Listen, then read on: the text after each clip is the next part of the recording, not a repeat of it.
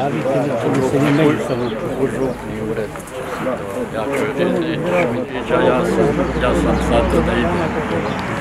Ja sam se puno puta rekao, žalostno To je druga stranica.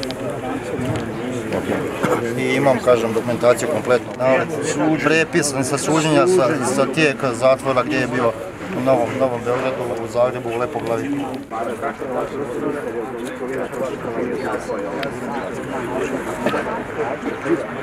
To je žrtva koja je ovdje, ovaj, iz ordinaca, unuk mi je svake godine bio.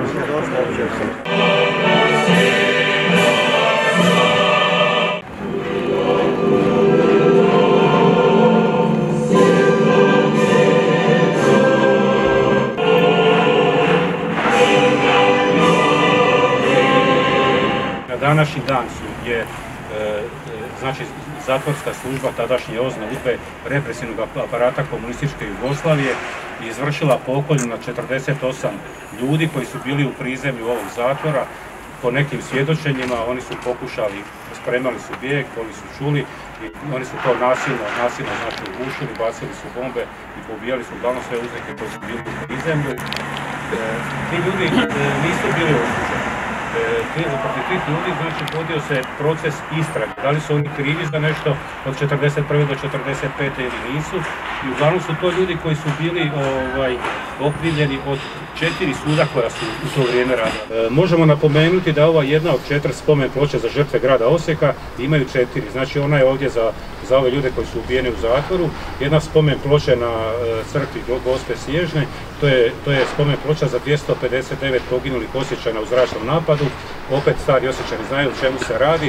To je uglavnom bio zračni napad saveznika gdje su ubijeni uglavnom žene i djeca. Znači to nije bio niti vojni cilj, nisu to bili vojnici, to su bili eto, slučajni prolaznici, ljudi u svojim kućama i kada smo istraživali taj dio naše povijesti, onda smo vidjeli da su u jednoj kući stradale cijele obitelji.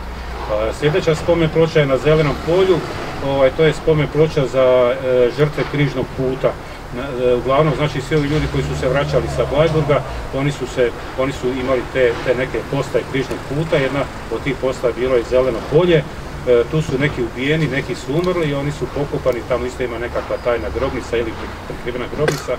U našem istraživanju nismo saznali još gdje je i točan broj ljudi ne znamo, a ne znamo da li ćemo ikad saznati. Ovo sve, i zaboravio sam da ima još spomen ploča na groblju, bivšem domobranskom, gdje je spomen ploča za preorano groblje e, hrvatskih i njemačkih vojnika, kojih je bilo oko 3000 kod, e, kod, kod, kod bile na nekakvom bajeru ovaj, prebačene. Tako da evo to, to su znači četiri, četiri spomen ploče koje